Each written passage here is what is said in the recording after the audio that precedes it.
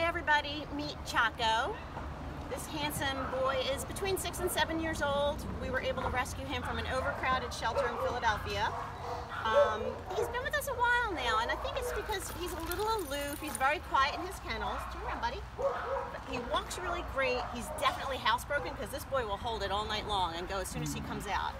Um, but again, you know, when you meet him, he's a little. So maybe people are looking for that lovey-dovey, but that doesn't mean he's not going to give you a ton of love and affection. So come on out to the Voorhees Animal Orphanage. Let's get this Philly boy some Jersey love and find a forever home for Choco.